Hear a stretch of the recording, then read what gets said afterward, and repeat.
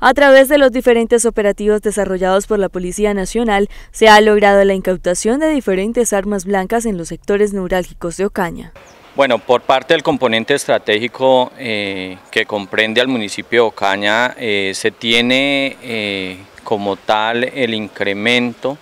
de controles sobre todos los barrios del municipio. Es así donde se tiene la incautación de armas blancas, la recuperación de, de celulares, eh, como al igual también eh, dentro de la aplicación del Código Nacional de Policía, aquellos equipos que no estén registrados a algún operador, eh, pues se tiene lo que tiene que ver la incautación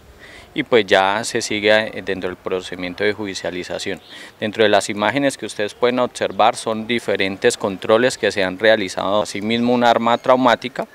el cual se realiza por parte del cuadrante